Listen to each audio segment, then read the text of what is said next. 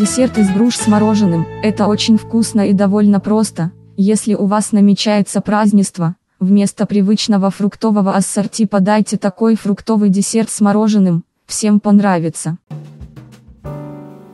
Десерт из груш с мороженым мне нравится по нескольким причинам. Досматриваем ролик до конца и записываем ингредиенты.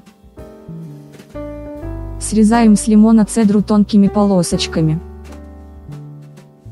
Берем кастрюлю, выдавливаем в нее сок из лимона, кладем цедру, добавляем неполный стакан воды, корицу и сахар, доводим до кипения. Тем временем очищаем груши от кожуры, однако не удаляем плодоножку, аккуратненько вырезаем сердцевину. Кладем груши в кипящий сироп и варим около 10 минут, затем снимаем с огня и охлаждаем, не выливая сироп.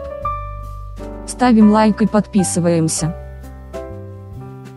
В маленькую кастрюльку выливаем сливки и на кусочки разобранный шоколад, ставим на медленный огонь и томим до полного растворения шоколада.